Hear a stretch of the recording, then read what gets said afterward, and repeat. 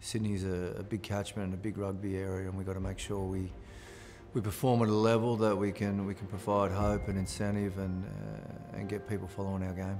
A real focus for us at the moment is reaching our potential as a team.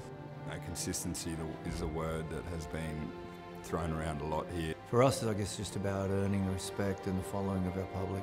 Really looking forward to you know going deep into the finals and, and potentially winning the Super Rugby. You know, we know we have a good team from one to 23, and if we can, like I said, reach our potential, I'm sure we can go deep into the finals. It feels a little bit like it's now or never in some respects for the Waratahs Morgs. They have featured in finals the last couple of seasons, but there's there's a challenge in front of them to, to really prove themselves. Yeah, you look at the squad list. The list is good. They've got good quality players with international experience. Angus Bell's going to be there. You think Harry Johnson Holmes plays more footy this year, so that really hurt them up front last year. Um, this is, you know, Darren Coleman's third year. He's a fine head coach, an excellent rugby man. Who this is the squad that he's built. He's got what he's wanted now. He's had time to build it. This is the push year for the Tahs. Eighth isn't good enough. It's it's looking for top four or five. Which you know, if you want to go deep, you've got to be up in that top four or five anyway. So uh, I'm expecting a lot from the Tahs. Forget about trial form. They'll have held a lot back. They just simply have to perform, and they have to start fast because they do have the tough draw. Cru- somehow they've got the Crusaders twice this year.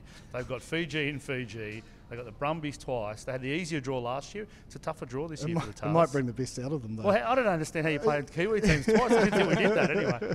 But I mean, if you do want to prove yourself, and there's that old saying, you want to be the best, you got to beat the best. So you may a- as well embrace that challenge. it's a great opportunity to be ready.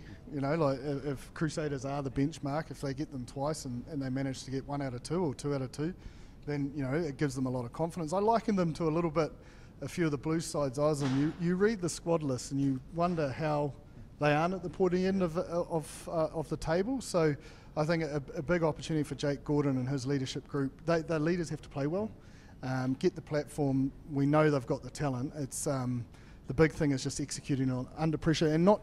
I think where they've gone wrong, especially last year, is they, they lost those early rounds Yeah. and then they were chasing their tail Pressure the on whole yeah, whole yeah. competition. Interestingly, this time last year they were talking a big game, and then they started, as you say, they faltered to begin with. They've sort of tempered those, you know, expectations at least externally. But hey, i- if there's no better opportunity to start your season than a derby, New South Wales versus Queensland, then you're probably not really up for it. So I reckon New South Wales will be up for it this weekend.